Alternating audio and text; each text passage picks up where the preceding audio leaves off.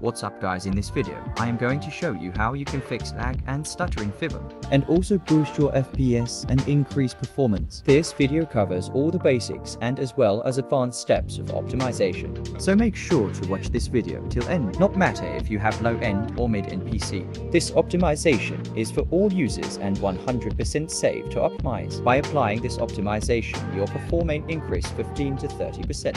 which mean you have 20 to 30 more FPS in any circumstance. But before starting this video, if you are new here, make sure to subscribe the channel for more FPS boost guide and also like this video for motivation. So without wasting more time, let's start this video.